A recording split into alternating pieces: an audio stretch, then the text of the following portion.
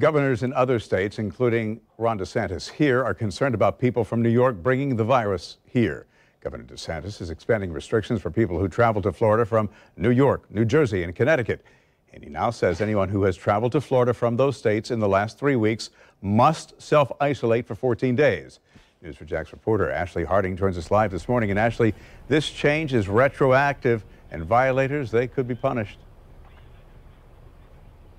Bruce, this is mandatory, and the governor, governor's office says anyone caught violating this order could face a second degree misdemeanor, which could include jail jail time and a fine. Take a look at this video right here. This is video News4JAX shot yesterday showing a room not far from the security line at Jacksonville International Airport. Now, an airport spokesperson told us this is the area where New York and New Jersey travelers were being directed after landing. That's where they were given forms to complete from the Department of Health before leaving the terminal. Now, this expansion comes as Governor Ron DeSantis is also asking President Donald Trump to declare Florida a disaster area. Now, in a letter to the president, DeSantis said the coronavirus is having a quote drastic effect on the state's economy and medical providers. Now, if he approves the request, Florida would be able to receive federal aid. Now, DeSantis also said in that letter that Florida has already spent more than $200 million on related issues, including unemployment assistance,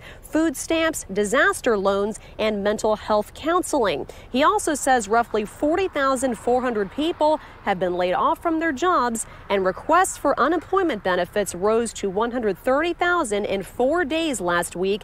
There were 28,000 the week before. Now, also on the local level, Mayor Lenny Curry is threatening to cut utilities to businesses that don't follow his work from home order. He says buildings could be condemned if employees are not allowed to work from home if they can. Reporting live this morning, Ashley Harding, Channel 4, the local station.